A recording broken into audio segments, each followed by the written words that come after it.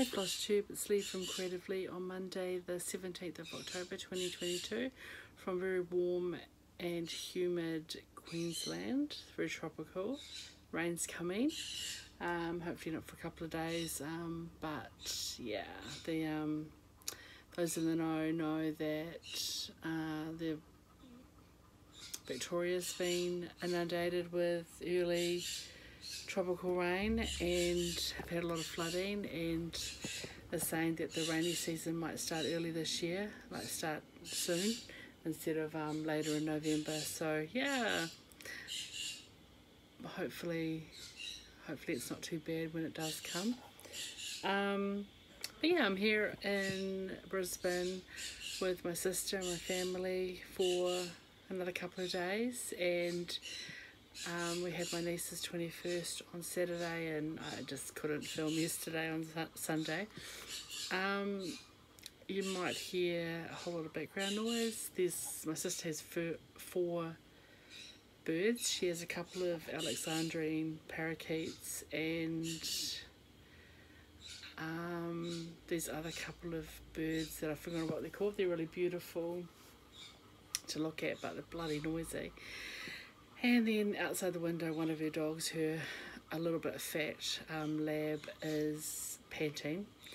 Um, actually, we've had a bit of a vet drama this morning. Her older dog, which is a border collie lab cross, uh, this morning was had some neurological symptoms. So they've just had the vet come and do a um, like a home visit vet come and mobile vet, I guess, and either he's suffering from, I call it geriatric vestibular syndrome or whatever, which with some, which usually comes right. Um, they'll try him on some anti, makes him dizzy and nauseous and um, hopefully over the next week or two he'll come right and I've given him some drugs to help with the nausea and dizziness. If he doesn't come right, then it's probably more um, something more serious, like a you know brain something, a brain bleed, a brain stroke or something. But um, yeah, and but they'll know I guess in a week or two. If, if he hasn't got worse and he's got better, then it means it's this thing that dogs get and usually goes away and it's just not have they're not comfortable when they have it. So I was hoping to get my sister on to a bit of a cameo but um, she and one of my nephews just gone off to get the prescription from the vet and stuff so um, probably just not a good day for her to jump on the video. Um, if she feels like it later I might just add a little extra bonus something on, show some of her stitching, but yeah, it's just been one of those days really. So what have I been doing while I'm here? Um, so I got over here Monday, we sat up really late, so I went to bed after midnight, which for me would have been about 3, 3 a.m., closer to 4 a.m. New Zealand time. Um, so, and then on the Tuesday, we did, um, my sister and I just spent most of the day out running errands to get stuff ready, to get stuff we needed for my niece's 21st. Um, and then on the Wednesday, we did a bit of shop. I did a bit of shopping, um, and then went back to one of the stores to pick up my glasses, because when I'd be swapped from my glasses to my sunglasses, which is prescription, somehow I must have dropped them, and someone kindly handed them into the shop, so we had to go back to that shop to get them. Um, and then I think Thursday we spent the day sewing, um, finishing up costumes because my niece had a themed party. Uh, everyone had to come with a in a costume starting with the letter of your initial, your, your name. Um, so we were sewing various bits and pieces um, and hemming purple fabric to make table runners um, because the I guess the scheme was black and white, purple and silver.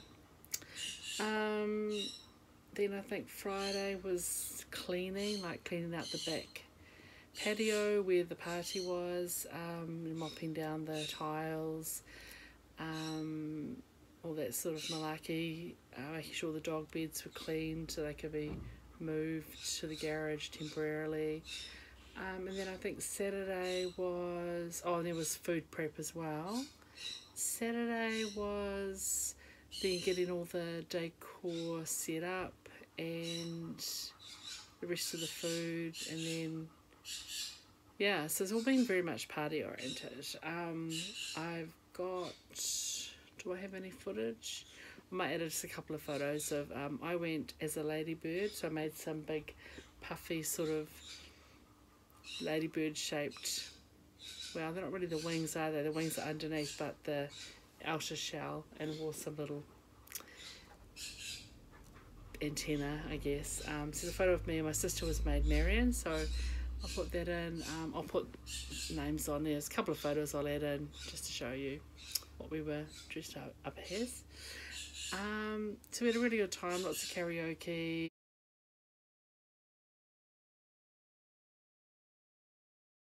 Um, too much drinking, um, too much food, uh, very late night. So yeah. But um, so apart from just chilling and spending time with family and stuff, we've been mostly party related. Tomorrow's Tuesday, and we're going to do a bit of shopping. Um, I want to do a little bit of shopping. A couple of there's a couple of shops over here I want to go to for some summer clothes, and then we're all going to go out. The whole extended family is going to go out for um, to a Singaporean restaurant to have dinner. Um, then I fly on, fly home Wednesday afternoon. But um, today is we're gonna have a barbecue tonight, um, and yeah, the vet thing's kind of throwing our plans a little awry, but that's okay. Like you know, the dogs are not, um, you know, they. The dog that's unwell is the alpha as well, so the other dog is not is probably the one who's the most upset and doesn't, doesn't understand what's going on. Um, like he usually waits for, so the um, lab is Zach, and Zach usually waits for Cody to eat first. So then, because Cody's off his food, Zach's like, I'm not going to eat. He could go a couple of days without food, he'll be fine. um, yeah, and I need to ring Dad this afternoon because, of course, I usually talk to him every day or two, but the time change, the time difference makes that really hard. Um, I think he's doing okay. He's probably just missing the company and stuff. Um, on Wednesday, um, we I did we did make our way to All Threads over at East Brisbane. Um, it's probably about a thirty-five minute drive from where my sister lives and they like you to have to book in a browsing session. Um, the shop is really small and they're still kind of mindful of COVID and keeping um, to allow people to be able to distance in the store. You can sort of only fit three or four people in. So we only really had half an hour guaranteed um, so I um, booked a session. We got and they close at two. They're only open ten till two, so it kind of makes it a bit tricky to get there. um, so I anyway we booked a session at one. Um, got over there. Um, I took some really dodgy footage um, when we were about to leave, so I'll just pop a little bit of footage in.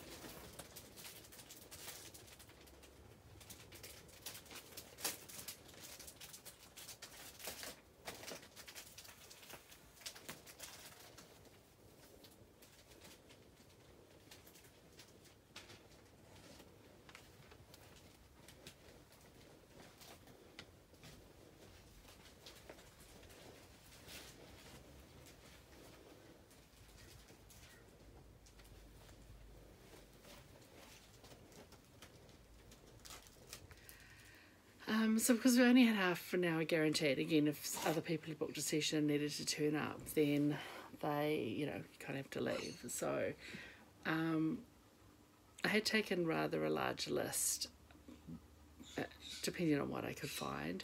Quick flick through the charts. There was sort of only really could spend five or ten minutes looking through charts, and they're not necessarily organised by at all. It was just in bins, so just had to flick through and see what was there. So I had a quick flick through, and there was nothing that leapt out to, at me that I really needed to get. Um, but there it was lovely to see um, some Gloriana on the wall, um, and I do have a chart, a Cove chart, um, Rhapsody in Red, that is on my list to stitch, and I think that's what I'm going to use. There, some of that was it 40 count toy toy that I got from Country Stitch last month. Anyway, it calls for Gloriana, which you may or may not know is quite hard to get. I don't think anyone in New Zealand stocks it. And when I had looked up their website, All Threads website, a couple of times, they never had one or the other colour in stock, but she had she had some. So I decided to get it because um, I had written down what was called for, but a note that um, I could get a substitution if you know if I found something else I liked. Um, and so I got five skeins of um, five skeins of cranberry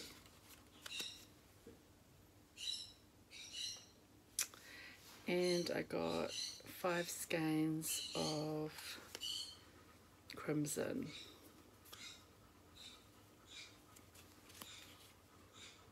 So those are the called for silks um, for the Rhapsody in Red. I do have a little, um, I put a picture on, I've taken a screenshot of it if I, it looks like that in case you're not sure.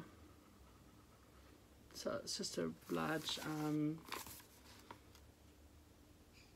large band sampler with a border really. Anyway, so of course if you know, you know, Gloriana, Gloriana is horrendously expensive. So that um, took up a big chunk of my budget, but it is lovely. So I got that, so 10 skeins of Gloriana and then I had a look at what fabric they had. Um, mostly all of her overdyes already chopped up, either in mostly in fat halves. I didn't really want to get a fat half, but I did get um, this fat half of Fiber on a Whim parchment. Um, she had a couple of different pieces. I don't want to take it out of plastic. Maybe I'll put a light on. Put a light on. I don't know if that'll help. I'll take out the plastic. This piece has some green in it, um, some nice splotches and some nice green. Um, so yeah, a fat half is tons. I'll be able to get a few projects out of that. So that's the only fabric that I got. Um, because it's, you know, 108 Australian. um, and I had to convert everything to New Zealand and the um, dollar's not doing so good, the Kiwi dollar. And then I had talked to my, well, because my sister was with me, she had a wee look around, but she's working on a project. She only does one at a time and she hasn't stitched for a while, so she had a wee look at kits and stuff, but didn't buy anything. But I'd shown her um, Here Be Lions and Here Be Dragons that I showed you I got last week and said to her for her to pick the thread I should do it in. So she went with some bold choices, which I might end up adding a solid in, particularly in the borders where you've got the negative stitching. I'm not sure, but um, got she picked um, for the lions a Threadworx. She wanted the variegated. She picked the variegated. So we went with 1040 and it has it goes sort of from caramel through to really dark brown. And for the dragons, she picked one with some green in it. Um, and it's 1043. That one. That'll be interesting. So it'll be kind of fun stitching something that she and I think I'll stitch these on that parchment. And I should only I think I can get these both on a on a fat eighth each so a fat quarter. So I should still have half that fabric left. So I got those. Well the only I did buy a new design dropped at Historische Stickmuster or on the Silk app and it's um uh, I think it's one by Dorothea, um, and it's Colours of Autumn, and I just took a screenshot of it so that I could show it here. And I just saw it and I loved the colours. I was like, yeah, I'm getting that. So I don't know when I'll stitch it, probably next year, but I um, I will do. I think I'll use the called for. Um, sitting on the floor, I'm not very comfortable. Uh, I will use the call for um, over a soie, soie d'Alger on that just because the colours are lovely and rich and that's what it's charted for so I think I'll do that. Um, and probably just on a antique white or something um, to keep the colours um, vibrant and stuff. So yeah that's something that I bought as well. So that's all the new stuff. So stitching wise hardly done anything. I haven't really had that much time. Um, I really only and the light it's sort of harder when you've got a lounge full of people and you're talking and people are watching telly and stuff and um and the lighting's just you know I don't have my light and all that but um I did pull out on Thursday evening and a little bit on Friday I pulled out Crowns of the Kingdom um and got a little bit more done on that. I'm stitching this with called for um, petite treasure braid or rainbow gallery threads on 32 count antique white linen and so where I got to from last time you saw it I had started this crown so finished that got that one that one that one that one and then started this one. So it's very sparkly um, very pretty and I'm enjoying it. Um, yeah. It's a nice little stitch to get a little crown done and call it day. So that is all my stitching, so just a wee whip. Of course I did have a new start last week. Um, I did a little bit. As a, it's for me probably the smallest start I've ever had um, on the Sunday because I was busy. but um, I, what was it? Oh my gosh, I can't even remember can't remember what it was, but I didn't bring it, so I'll show that next week when I'm home. Um, yeah, a little bit of start, so not planning to start this week, so just a week off for start, so I'm a little bit ahead anyway, I think, um, because I did a couple of, I did two starts around, um, when I started Crowns of the Kingdom, there was that week was a two start week. We had 12 people here on the night of the 21st, like 12 people stay um, and here for breakfast next morning, there were like people everywhere, like bodies everywhere. if you could find a spot to put an air mattress, that's where you went. Um, so it was just, yeah, there were just people all over the house and it was very crowded. it's very different from my house where I'm there on my own. It's very quiet and it's just all these people.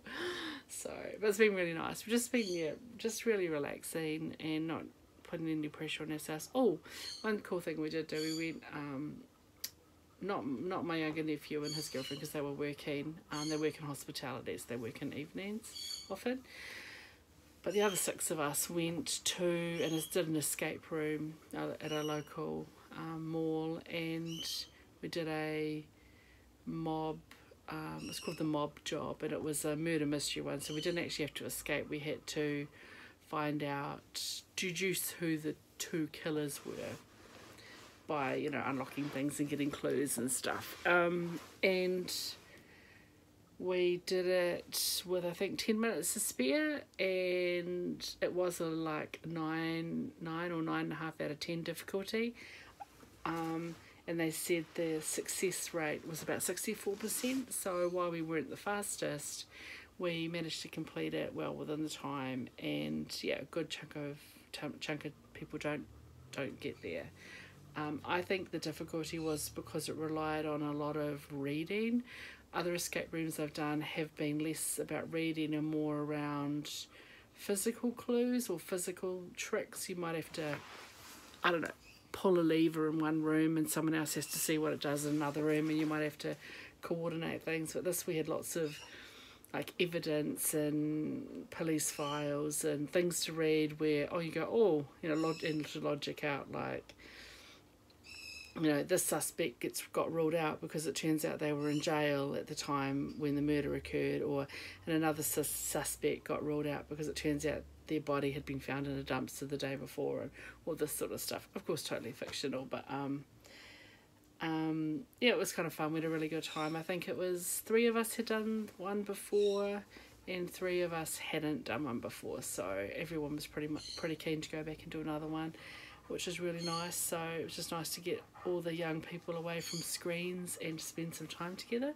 So we did that. That was pretty cool. So looking forward to yeah dinner out on Tuesday night and barbecue tonight, and just yeah spend another couple of days with family, and then heading home um, to my bed and some quiet and not to have a dog snoring outside my window all night or currently panting um, yeah anyway i'm gonna i'm gonna wrap this up. So yeah i might see if i can get my sister to do a little extra what she's been doing. We'll just do that a little bonus video if she's up for it. But yeah as i said just giving them a bit of space to worry about the dog and stuff. So um, thanks for for watching. And um, yeah looking forward to getting back to my regularly scheduled program next week.